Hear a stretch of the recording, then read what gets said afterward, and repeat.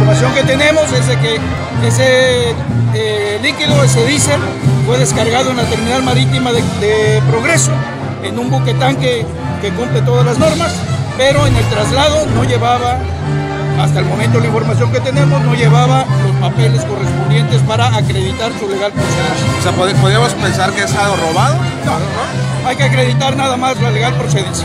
Eso es parte de los esfuerzos que están haciendo para evitar ese tipo de anomalías. Es parte del esfuerzo permanente que realizan las autoridades de los tres niveles de gobierno para disminuir, para incidir en la disminución del índice delictivo y lograr mantener a Yucatán, como ustedes bien lo saben, como un estado de paz y desarrollo. Eclipse, televisión digital.